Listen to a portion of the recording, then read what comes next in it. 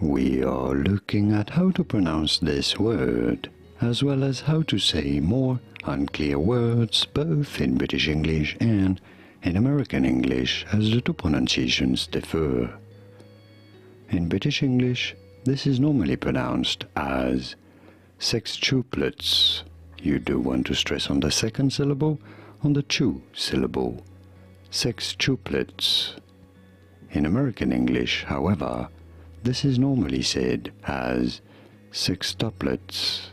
Sextuplets in American English versus sextuplets in British English. Did you get it? Was this any helpful?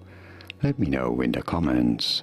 Here are more videos on how to pronounce more words in English whose pronunciations aren't exactly always obvious.